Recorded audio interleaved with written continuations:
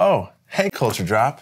Thanks for popping in here. This video is about clearer expectations, and specifically when you have a problem with a leader, coworker, employee, etc., who like doesn't listen and often gets things wrong.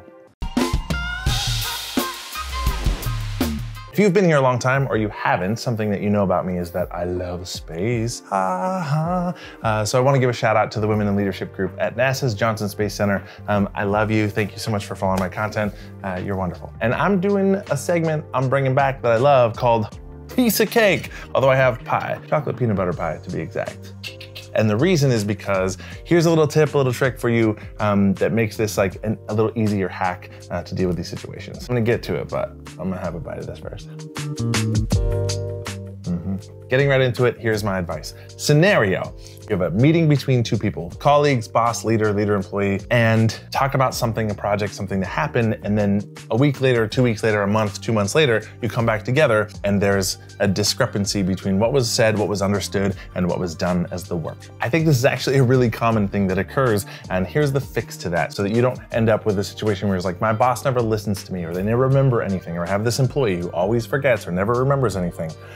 At some point, if that happens one or two or three times, it's on you to do something different to address that. And here's how you can change that clearly expressed agreements. So at the end of that conversation that you have with that employee, with that leader, with that coworker, the thing to do is to send an email immediately after to recap the meeting and what was talked about. This is really valuable because then you have a clearly expressed agreement of what's supposed to be done, where you say, here's what we talked about, these are the points, this is what you want to see from me, or this is what was said, this is what either you're going to go do, and here's the parameters, and here's all the information, or here's what I'm going to do, here's everything. Does this look right? Does it sound good? Have I missed anything? Simple little hack will avoid a lot of miscommunication and things down the road and frustration where it's like, I said this thing, you heard this thing, and vice versa. That's it. That's the simple tip. And I just want to leave you with one kind of thought.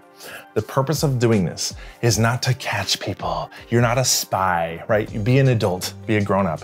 The purpose for doing this is to add clarity. If I know that somebody doesn't comprehend things or they don't listen or they miss things and they're not right, an attention to detail kind of thing where I say it one time and I expect that they heard it right and they do what I want, this is a correct for that.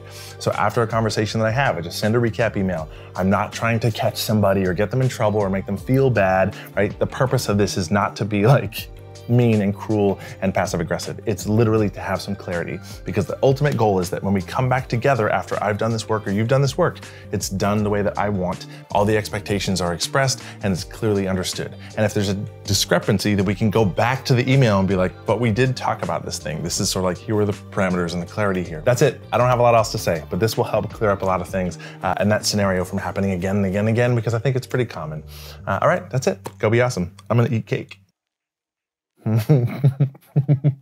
what brings more joy in life than like cake and or pie? Chocolate and peanut butter. Get out of my life. Thanks for watching and tuning in. Subscribe to our channel. We put a lot of content on here. You can also subscribe to the Culture Drop mailing list and get these emails in your inbox every Tuesday morning. Follow our social media channels. Uh, put a lot of free content out about just being more awesome and building great teams.